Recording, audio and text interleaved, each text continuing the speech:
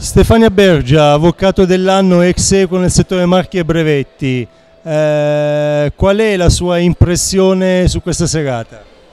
Beh, senz'altro è una novità, il mio maestro direbbe ma che strana novità, però siamo, siamo qua, direi che è un'esperienza interessante e comunque per, per, un avvocato che fa questa professione da tanti anni può anche essere gratificante perché sembra che l'abbiano detto poi i clienti, giusto questo? Non abbiamo ben capito ma alla fine ci è parso che arrivi di lì l'input, giusto? E allora noi non possiamo che essere contenti. Eh, una domanda invece più del settore, eh, come vede lei il settore marchi e brevetti, lei che si occupa a seguito delle cause importanti come quella Samsung e Apple, ecco qual è lo sviluppo di questo settore per un avvocato?